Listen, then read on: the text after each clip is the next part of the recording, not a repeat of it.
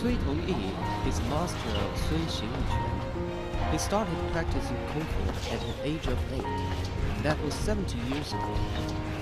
He has kept the habit of boxing in the early morning and sword play at afternoon all these years.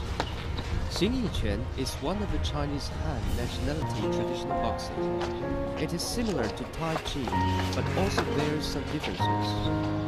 Xing Yiquan tend to be more concise and direct. The moves are considered more practical.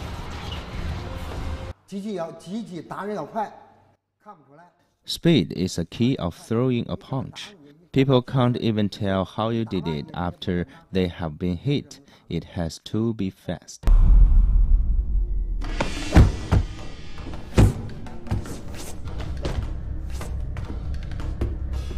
Xing Yiquan is known as bold and powerful.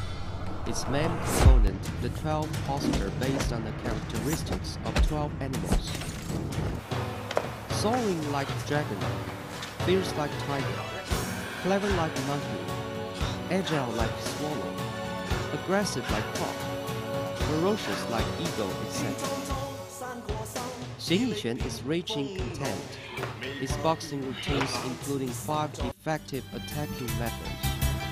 Pi, Feng, Zuan, Cheng, named after the five vital elements, wind, wood, water, fire, and earth. Charging through and being unstoppable. That is when your kung fu reached certain level, you could win fights without much effort. Chinese kung fu always pays attention to basic training Persistence is the key of progress. Cui Tongyi at age 40 began to take students and teach wushu skills. Now he has more than 80 apprentices.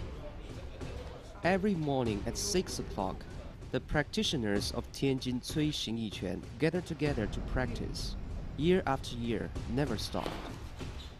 If you can't be persistent, you better not start. It's unbearable practicing on the hottest dog days and the coldest Sanjiu Tian. Xing Yiquan requires a lot of hard work. It takes two or three years to learn the basics. While resting, apprentices often ask questions about Xing Yiquan practices. The weight looks small, but weigh a ton. The question is, can you give it? I have been practicing for almost 20 years. I think I'm gonna keep going. I will make sure to pass it on. I hope they will make great effort. Cui Tong swordsmanship is as good as his boxing. He is known as the sword genius. The Longquan sword he inherited from his father has been with him for nearly half a century. An old sword not only witnessed two generations' perseverance and love for Yiquan, it also represents the warmth of traditional martial arts people ties of blood, loyalty, and companionship. Li Ruilin is a writer specializing in wushu research in Tianjin area. On this occasion, he specially came to visit Cui Tongyi with his recently published book. Cui Tongyi, equally fascinated with wushu, took out and shared with Li Ruilin his boxing spectrum and old photos that he has treasured for years and hardly shows to anybody.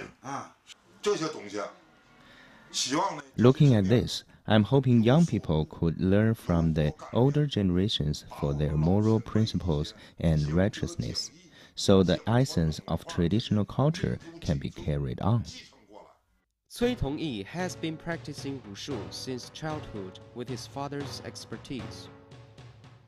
He represents the traditional Chinese wushu bloodline culture. 70 years of perseverance.